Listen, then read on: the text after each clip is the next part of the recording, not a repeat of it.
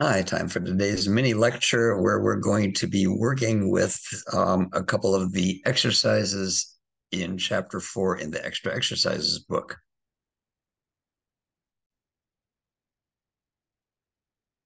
And let's share the screen.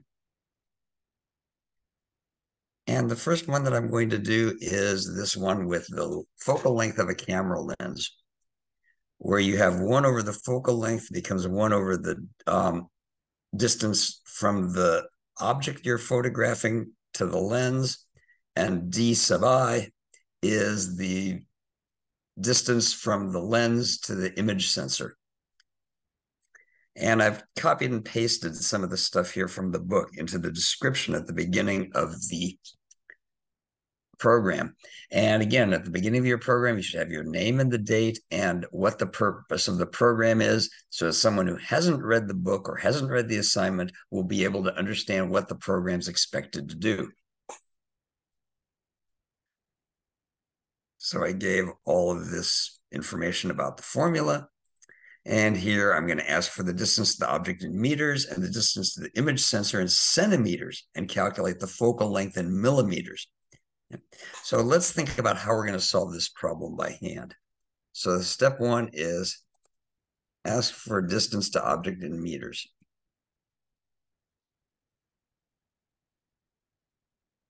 Convert that to millimeters because that's what our final result has to be. Step three is we're going to ask for the distance to the um, image sensor in centimeters and then we're going to convert that to millimeters also. So now we've got everything in millimeters and we're happy. And now we want to um, calculate the reciprocal. In fact, let's name some of these here, okay? Let's call this object distance millimeters. And then we'll call this one object, excuse me, um, this is going to be image distance millimeters. Why didn't I start with out with the word distance? The answer is because I want the difference between them to be as clear as possible. If they both start off with this, for example, distance in millimeters to the object and distance in millimeters to the image sensor, these things look almost alike. And I have to go all the way to the end to see which one is different. Whereas here, I know immediately which one's the object and which one's the image. So I want the reciprocal of the object distance in millimeters plus the reciprocal of the object Uh, image distance in millimeters.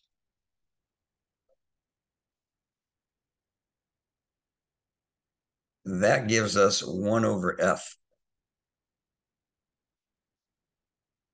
We then have to take the reciprocal of that and that gives us f. Now, because I'm doing the reciprocal so many times, I want to have a method that calculates the reciprocal even though it is only a division by one, I need to practice with methods because that's the whole purpose of this chapter. So let's do that. And let's write that one immediately. So here we're going to do this. We're going to say um, public static double. And we're going to call it reciprocal. And we're going to give it some double number x. Now, normally I say you have to have meaningful names. Problem is that the reciprocal of a number, it could be the reciprocal of anything. The x here is truly a generic variable.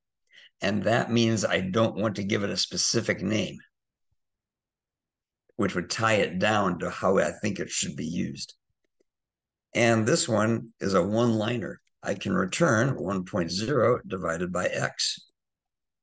Now, what happens if somebody gives me a zero in there. Well, then what's going to happen is I'm going to get some weird result, and I may as well show you what happens here. Let's go into JShell. Let's say I have an integer n, and I set it to 12, and I try to say n divided by zero. When I divide by zero with integers, um, I get an exception division by zero. Now let's do this. Double x is 0, 0.0, and I say, what's 1 divided by x? And turns out it gives me a special value called infinity. And once I have infinity, I can't do much anything anything much else with it, but the program doesn't blow out. So what are we going to do if somebody gives us a zero as one of these numbers? The answer is we're going to give them back an infinity and it's on them. that's sort of cruel, but oh well. Now, the next thing I want to do here is I want to say, let's do a public static double. And this is going to be calculate the focal length. Now it's going to need the distance to the object and the distance to the image. And the question is, do we want them to be in millimeters or do we want them to be in meters and centimeters? This is a design decision. And here's my design decision. The arguments to this method will be the distance um, from the lens to the object in meters and the distance from the um, lens to the image sensor in centimeters.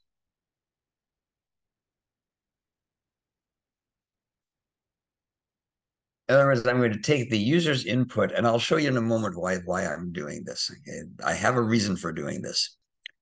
So we're going to have a double. Our first one is going to be called, um, let's say, let's see, object distance meters. And the next one is going to be image distance in centimeters.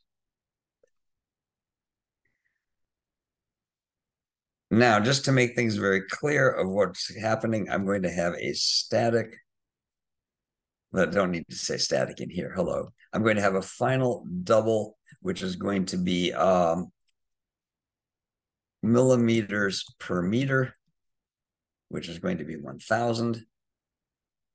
And I'll have a centimeters, millimeters, excuse me, per centimeter, which is 10. And if I want to be absolutely explicit, I can put a point zero there. Okay. Now I'm going to do all these steps that I had here. What I'm going to say is I'm going to say double object distance in millimeters is going to be the object distance in meters times the millimeters per meter. My object, my image distance in millimeters is going to be the image distance in centimeters times the millimeters per centimeter.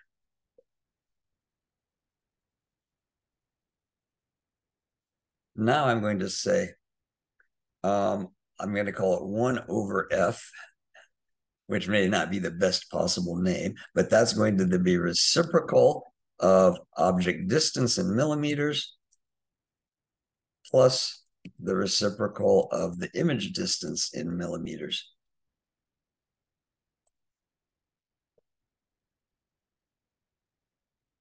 Then finally, my focal length is going to be the reciprocal of 1 over f. Again, I could have done this a bit more simply by doing the divisions directly, but I want to show that one method here, namely calc focal length, can call many other methods. And then since I have to return a value, I'm going to now return focal length.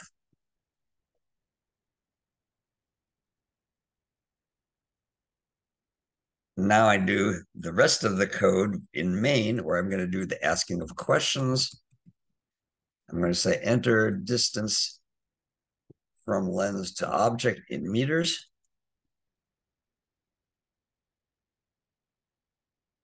And I'm going to have a double and I'm going to call it um, input dot next double. Enter distance from lens to image sensor in centimeters. And this will be the double um, well, okay, I'm sorry, object distance meters. And this is going to be called image distance centimeters. Again, these names don't have to match. That's going to be input dot next double. And then I'll say, okay, my focal length will be calc focal length. And the numbers I'm going to give it are the object distance in meters and the image distance in centimeters. Then I can print out my result. The focal length of your lens is percent dot three F millimeters.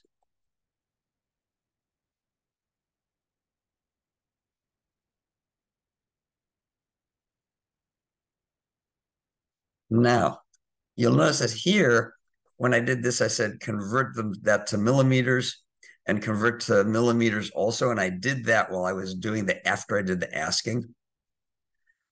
Here's why I don't want to do that. That splits the calculation of the focal length between this method and your input. Essentially, if I were to have done this, if I were to have said double object distance millimeters becomes object distance meters times 1000 here, then I would have been doing essentially part of the conversion process. Excuse me, there's a plane flying overhead. Let me pause for a moment here. And this is a very common issue that comes up. When you write a method, methods should be self-contained. They should do all the work. They should not lot have the work of a calculation being split between the main method and the method that actually does the result you want. That means I really should change my steps here um, in order to make it reflect what's going on in my program. I'm going to ask for this. And then step three is going to be call a method to calculate the focal length by doing this. Okay. I'm going to have to redo all my numbers here. No, yeah, that's okay. Let's call this step A is going to be convert um, Winners. Step B is going to be convert distance to image sensor. And now step C is to calculate the reciprocal of that. And so now these steps more accurately reflect what I'm doing in my code. Let's compile this and see how many mistypes I have. Well, that's nice. Oh, don't tell me. I, I called it lens calculations. Okay, so let's call it lens calculations. Easier than saving it with a new file name. Okay, now I compile, compile successfully. So let's say I have something that's four meters away. And the distance to the image sensor is um, 1.5 centimeters. And that's going to be the focal length of my um, lens in millimeters.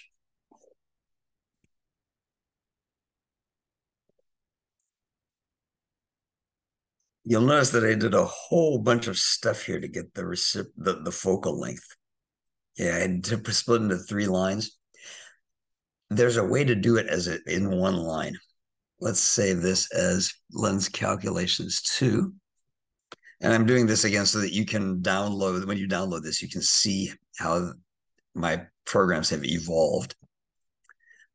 Um,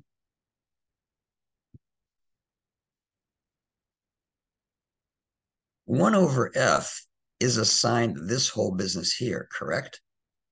So that means really, when I want 1 over f, I could do this. And since I'm returning focal length, which is this, I can copy and paste this whole business and do it as one line.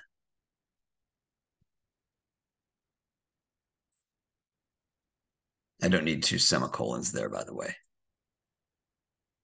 That was copy and paste gone wild. Now you may not like this. You may think, okay, that's a little bit too difficult. By the way, it's still going to give me the same answers here. Um, let's compile this and run it.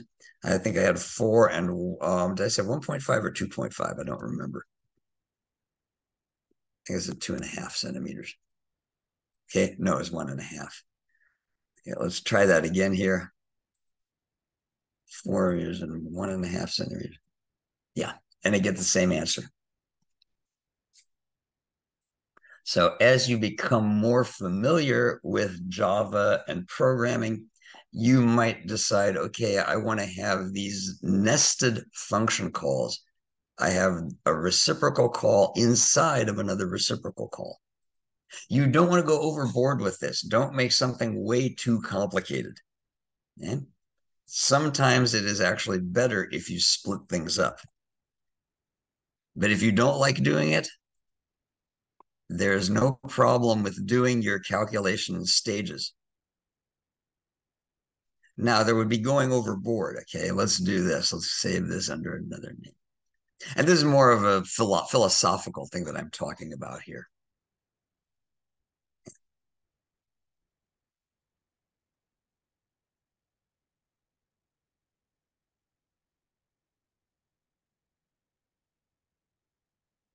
Oh, this lens calculation is three.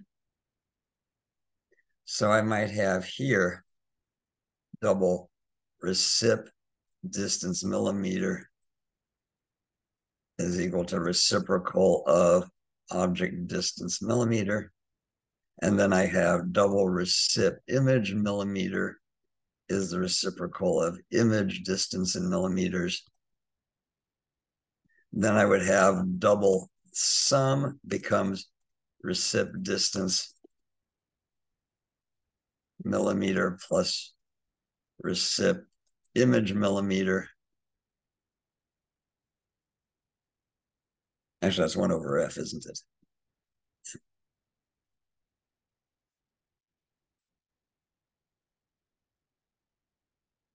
Hmm.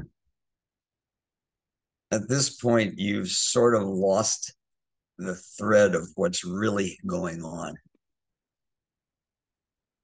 It's too, it's split apart too badly or too much. In the original, it's a reasonable blend. I'm doing these additions here and they belong together. And then I'm taking that reciprocal afterwards. That seems like a reasonable thing to do. In the second one, I might be complex, complexifying it too much. And in this one, I am definitely splitting the things into subparts way too much, and I'm losing readability as a result. So there, there's your philosophy lecture for the day. Uh, do we have time for one more? Yeah, let's take a look at these and see what we can do. I'll at least start one of these. I like this last one here. If I have a rectangular prism, what I would like to do, if I've got the length, width, and height, and I want to return or be able to calculate the volume, the surface area, and the diagonal. So that means I have to know how to figure those out by hand. The volume is going to be the width times the length times the height. That's a fairly standard formula. What's the surface area going to be? Where we're going to have the width times the height. That's this end piece, and I have two of them. I've got the length times the height, which is there's going to be two of those. And then there's going to be the um, base, which is the width times the length. I'm going to have a top and bottom, and that means I'm going to have two of those. So let me start writing this stuff down here. Uh, let's open up my template file. And we're going to call this um, rectangular prism.java. Monday's the 14th, not the 13th. And the purpose of the program here, given the length, width, and height of a rectangular prism, box, um, calculate the volume, surface area, and diagonal in separate methods to get practice with methods. because after all, that's the whole point of this. And let's write down what the formulas are. So volume, that's going to be the length times the width times the height. Now the surface area, I'm going to have to have the length times the width times 2 plus the length times the height times 2 plus the width times the height times two. But I can use a little bit of algebra to simplify that into two times length times width plus length times height plus width times height. And I'm factoring out the two and I'm putting it at the beginning. Now, what about the diagonal? Oh, Crikey, that's going to be a fun one.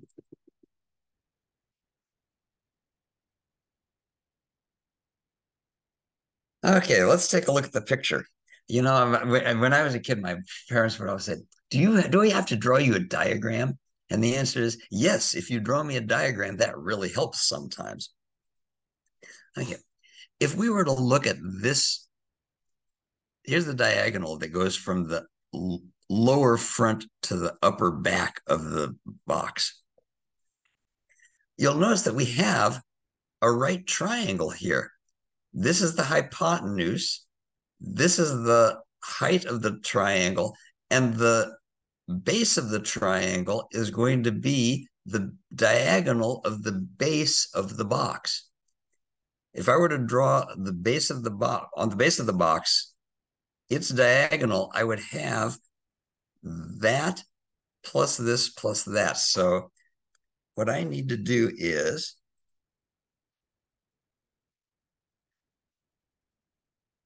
calculate the diagonal of the box base. And let's go back and look at the width and length.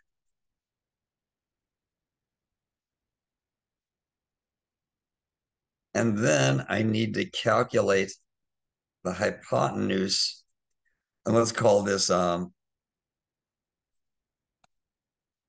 box di base diagonal. I need to I need to name things, otherwise I get confused. And then we're going to have to calculate the hypotenuse of base diagonal and height. So what is our um, uh, do I want to do this?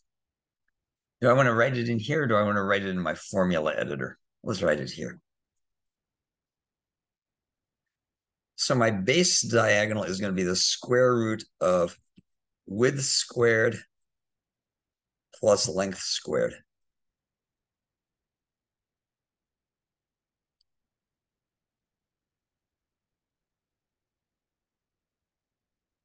That's my base diagonal.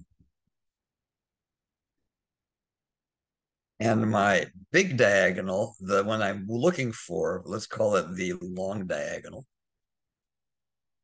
That's going to be the square root of base diagonal squared plus height squared.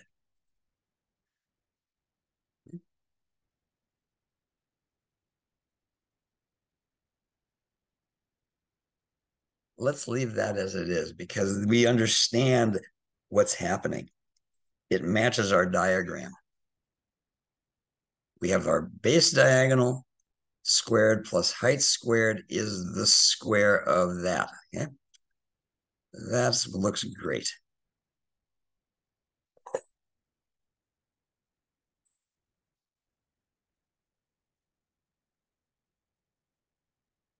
Let's put .java there, which would not work. Let's write our methods first. Oh, no, no, I don't want to do that. You know what I'm going to do? Let's ask for the length, width, and height right away.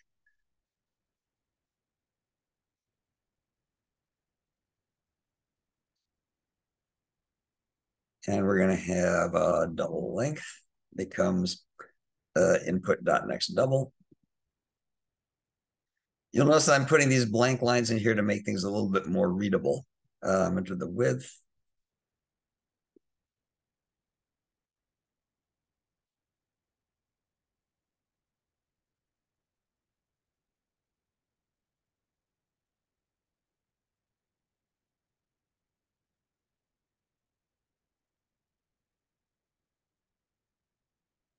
And now let's uh, calculate the volume.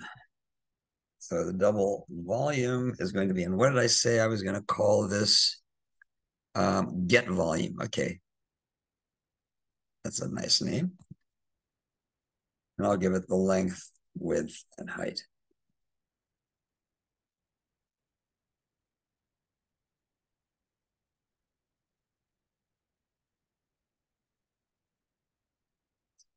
Since I didn't say whether it was going to be um, centimeters or millimeters, they're just units. Now, the question is, why am I writing just this part of it instead of all of it? Because I want to be able to build this in parts and test it rather than having to do the whole thing all at once. So here I'm going to have a method that returns a double. It's called get volume. And it's going to have a double length, double width, and double height. And I'm going to return length times width times height. And let's see if that part works. So if I have, let's say, um, 1.5 times 4 is 6, and 6 times 2.5 is 15. And sure enough, I get 15 cubic units. Okay, I know that volume is working nicely. I don't want to use some weird numbers like you know 15.783, 18.902, and 54.007. How in the world am I going to know if I got the right answer? Whereas if I use numbers that are not trivial, like zero, one, and two, and things that I can do in my head, I've got a good chance of being able to figure it out. Now let's do our surface area. Again, we're going to give it the length, the width, and the height. I'm going to call a variable area, and that's going to be two times length times width plus width times height plus length times height. And then I'll return that area. And I've split that calculation across three lines just to make it easier for me to handle. I could put it all on one line, but I just decided this one, it feels better to do it this way because again, it gives me the relationship to what's happening. I've got the width times the height, the length times the height, and the um, width times the length.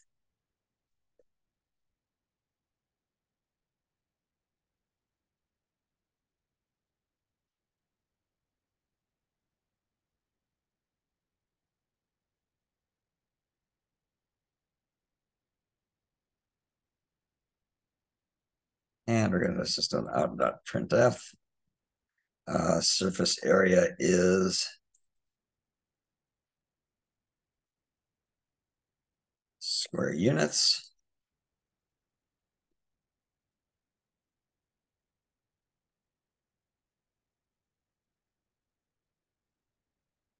Oh, goodness gracious me. Uh, let's see if I can bring up KCalc here. All right. Um, let me pause for a moment while I go and get a pencil and piece, piece of paper so I can write this down so I can keep track of what I'm doing.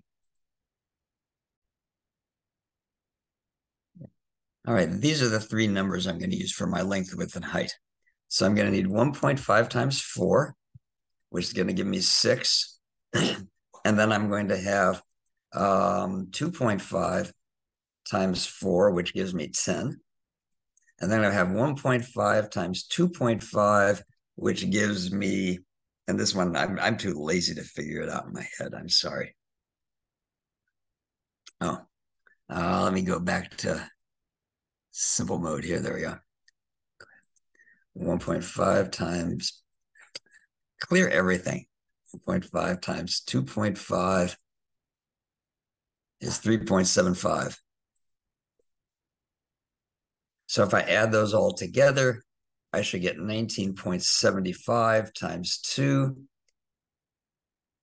um, which I think is going to give me 39.5. Let's check that out. 16 plus 3.75 is 19.75 times 2 It's 39 and a half. Okay, great. You know, like to be able to do this and with numbers that I can at least handle. And let's compile this. Oh, well, that's lovely. I forgot to name it get surface area. Why? Because I didn't carefully read what is said here in the assignment. Bad teacher.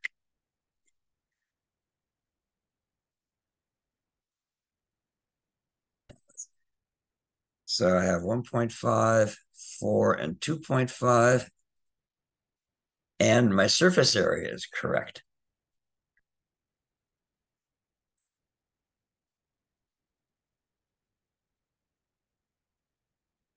Now I have my public static double get diagonal. And again, I have my length, my width, and my height. I'm going to set my base diagonal to be the square root of length times length plus width times width. Then I'm going to have my long diagonal is going to be the square root of base diagonal times base diagonal plus height diag height times height. And then I'm going to return that long diagonal.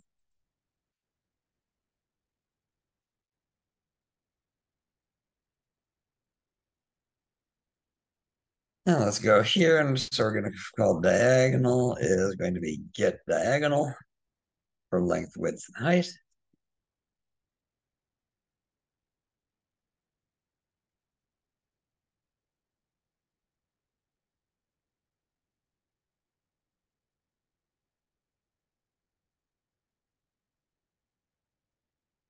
Okay, this one is going to be interesting. I'm going to have to use my calculator a lot to figure out what's going on here. So this is my length, my width, and my height, correct? Okay, so my base diagonal is going to be um, 2.25 plus 16, which is, well, 1.5 squared is 2.25. Uh, 16, that's 18.25. And I need the square root of 18.25.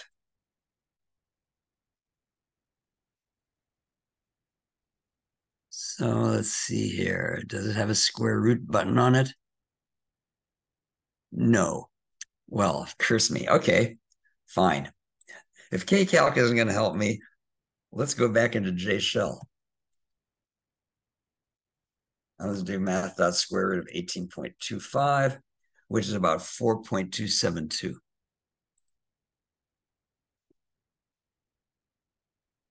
Now, my long diagonal is going to be the height squared, 2.5 squared, 6.25, plus this squared, which happens to come right back to 18.25, interestingly enough. And that gives me 24.5, and I need to get the square root of that. And that's going to be, um, that's square root of 24 and a half is about 4.949.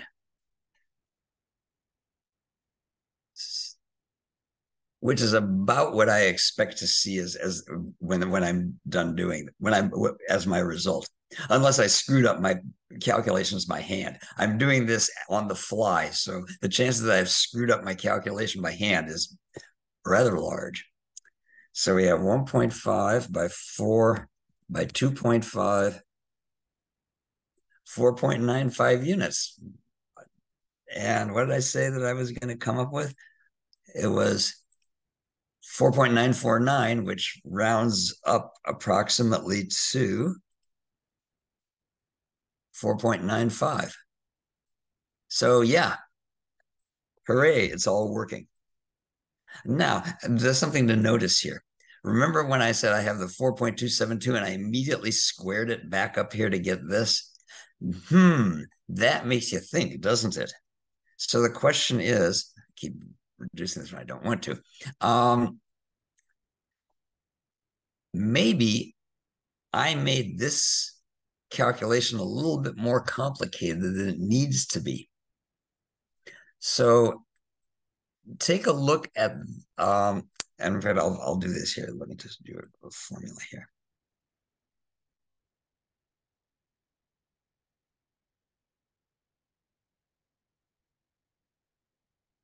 By the way, I'm going into a lot of detail here. Don't worry if you don't want to look at this detail.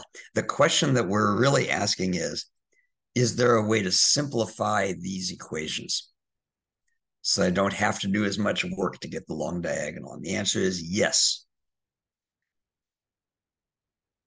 So here, let me um, insert a formula.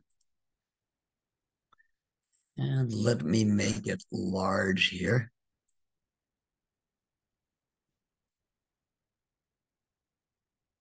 So my base is going to be the square root of length squared plus time plus width squared.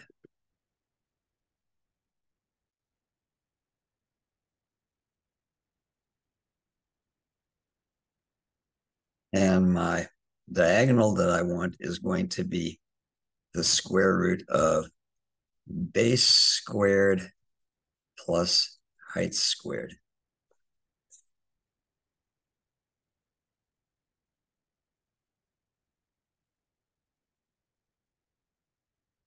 So those are my two formulas.